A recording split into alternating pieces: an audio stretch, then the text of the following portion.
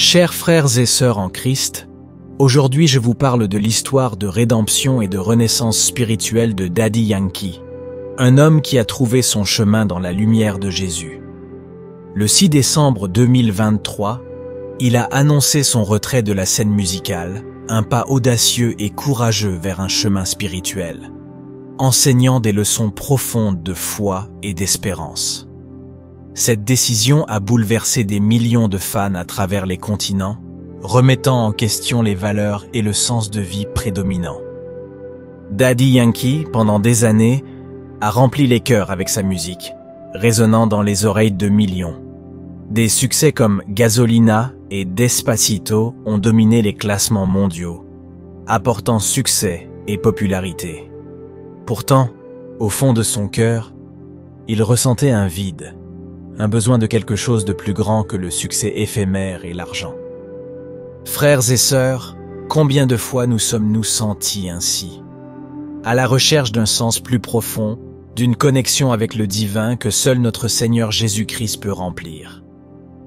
Lors de sa dernière tournée mondiale, Daddy Yankee a partagé une révélation qui a touché beaucoup de cœurs. Ce jour est le plus important de ma vie. Ce soir, je reconnais et je n'ai pas honte de le dire au monde entier, que Jésus vit en moi et que je vivrai pour lui. C'est la fin d'un chapitre et le début d'un tout nouveau. Ces mots sont un signe puissant de la transformation qui se produit lorsque nous accueillons Jésus dans nos vies. Quand Yankee a laissé tomber le microphone à la fin du concert, ce n'était pas seulement un geste symbolique de fin de parcours, mais aussi le début d'une nouvelle vie en Christ. Une vie qui promet non seulement le salut, mais aussi une nouvelle direction et un but. Dans son discours final de la tournée, Daddy Yankee a exprimé des réflexions profondes sur sa foi et sa décision de se consacrer au christianisme. Il a cité l'évangile de Marc, réfléchissant à la façon dont la richesse matérielle ne peut compenser la perte de l'âme. Il a déclaré « Ce soir, je reconnais, et je n'ai pas honte de le dire au monde entier, que Jésus vit en moi et que je vivrai pour lui. Il a également mentionné l'évangile de Jean, invitant ses adeptes à suivre Jésus-Christ, le chemin, la vérité et la vie. Enfin, il a exprimé le désir d'évangéliser le monde à partir de Porto Rico, utilisant les outils à sa disposition pour le royaume de Dieu. Le rappeur, dans son voyage spirituel, rappelle que même si certaines portes peuvent se fermer dans la vie, Dieu ouvre toujours de nouvelles voies.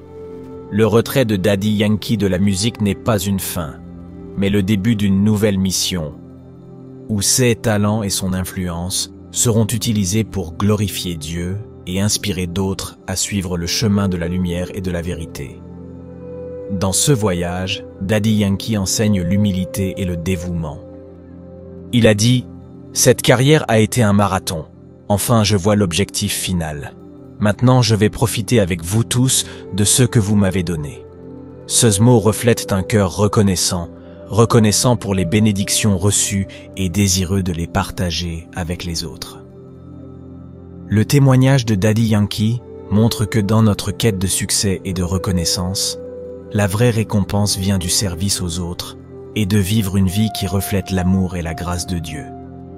Malgré sa renommée et son succès mondial, Daddy Yankee a compris que seul Dieu pouvait combler le vide de sa vie. Son courage de reconnaître cette réalité montre que peu importe la distance, l'amour de Dieu est toujours prêt à nous accueillir. Il a déclaré « J'ai longtemps cherché à combler un vide dans ma vie que personne ne pouvait remplir, et je dois avouer que ces jours sont révolus. C'est un témoignage puissant qui nous encourage à chercher Dieu dans les moments d'incertitude et de besoin. Frères et sœurs, l'histoire de Daddy Yankee est un signe tangible de la façon dont Dieu appelle chacun à une vie de plus grand dessein et de signification. Inspirons-nous de sa décision de suivre le Christ et utilisons nos dons et talents pour apporter lumière et espoir dans ce monde. Prions pour que son voyage continue d'être une source d'inspiration pour beaucoup et que nous aussi puissions trouver notre véritable appel dans la grâce salvatrice de notre Seigneur Jésus-Christ. Partagez vos pensées dans les commentaires. N'oubliez pas de vous abonner à la chaîne et de rejoindre la communauté de foi et de prière. Que Dieu vous bénisse.